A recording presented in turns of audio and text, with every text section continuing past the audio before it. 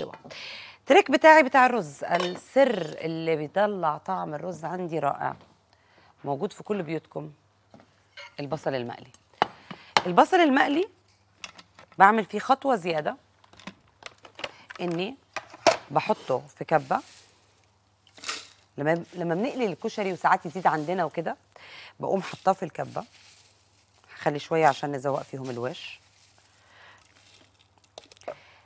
وبعدين بحط له شوية زيت.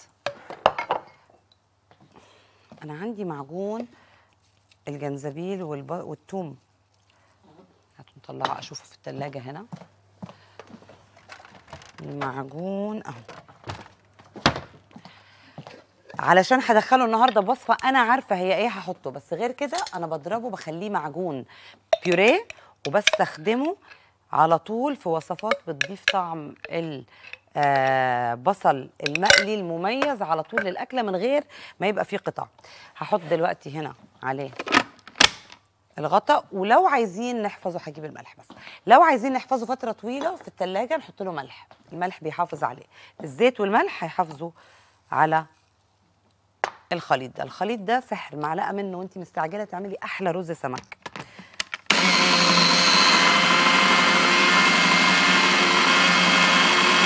ولا هتقعدي ساعتها تقلي بصل ولا تكرملي بصل ولا أي حاجة معلقة على الحلة.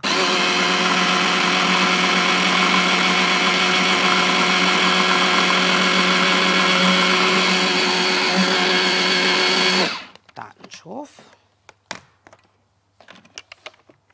عندنا هنا معجون البصل المقلي. اعملوه حطوه بالتلاجة وادعوا لي هناخد حالا. خلينا نقول عندنا في التلاجة. وعايزين نعمل رز البصل.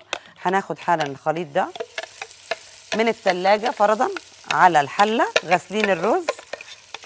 هندي الرز النهارده معلقة صلصة طماطم. الصلصة يا شباب فين؟ في التلاجة صح؟ غالبا الصلصة في التلاجة. أهي. هندي معلقة صلصة طماطم. الريحة الريحه خطيرة. معلقة صلصة كبيرة واحدة بس. ونديهم تقليبة. رزي بسمتي النهارده. غسلاه من غير ما أكسره. هنا مش هحط زيت الحلة مل... البصل مليان زيت. هحط آه بس صلصة طماطم ومليان ملح. هنحط ممكن مكعب مرقة. خلوني بس نحط الرز كله بسم الله. غسلاه من غير ما أكسره نقعه فترة بسيطة جدا مية فترة. ناخد فوطة عشان أعرف أمسك الحلة السخنة دي. أين هي الفوطة؟ أهي. تقليبة بصوا اللون. تقليبة من غير تكسير الرز. ميتنا مغلية. وعندنا مكعبات مرقة. تيجوا نديله شوية كمون بس. سنة كمون. بهاراتنا بس هتبقى الكمون. يلا عندي هنا الكمون والمرقة.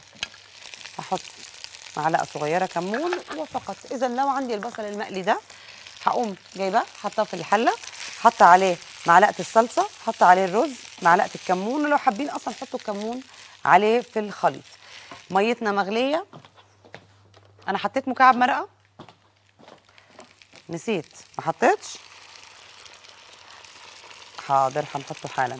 الرز البسمتي بيحب المية كتير فبزود ميته عن الرز المصري لما أسويه. تبقى عالية شوية عليه هاتوا ناخد مكعب مرقة. ذرة ملح ما تضرش عشان الرز في المرحلة دي هو اللي بيتشرب الملح. تقليبة. وعايزة أدوب دلوقتي مع المية لما تغلي هندوب البصل كده وتطلع كل الحلة كل لقمة رز مليانة بالبصل.